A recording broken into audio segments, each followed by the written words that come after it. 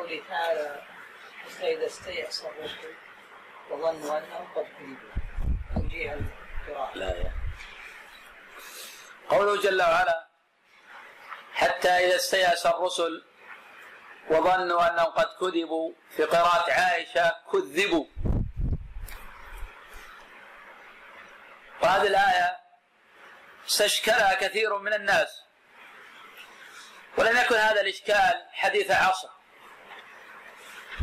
فقد كثر سؤال التابعين للصحابة عن هذه الآية. وكان في معنى هذه الآية خلاف بين الصحابة كعائشة وغيرها. فالمعنى في الحقيقة لمن تأمل واضح ما في إشكال. قوله جل وعلا حتى إذا استيأس الرسل أي استيأسوا من إيمان قومهم. واستجابتهم لأمر الله وأمر رسوله صلى الله عليه وسلم ولم ييأسوا من ربهم إنما يأسوا من قومهم. وقوله وظنوا أنهم قد كذبوا. ظنوا هنا بمعنى استيقنوا أي أن قومهم قد كذبوهم.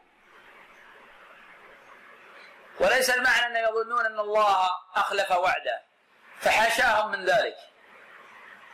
فالأنبياء ينزهون عن مثل هذا. وإذا قيل بهذا المعنى ذكرت استقام الأمر. ولا في إشكال أبدا في المعنى الآية. ولا يكون للآية معارض فعلى هذا أعيد أن الآية مشكلة.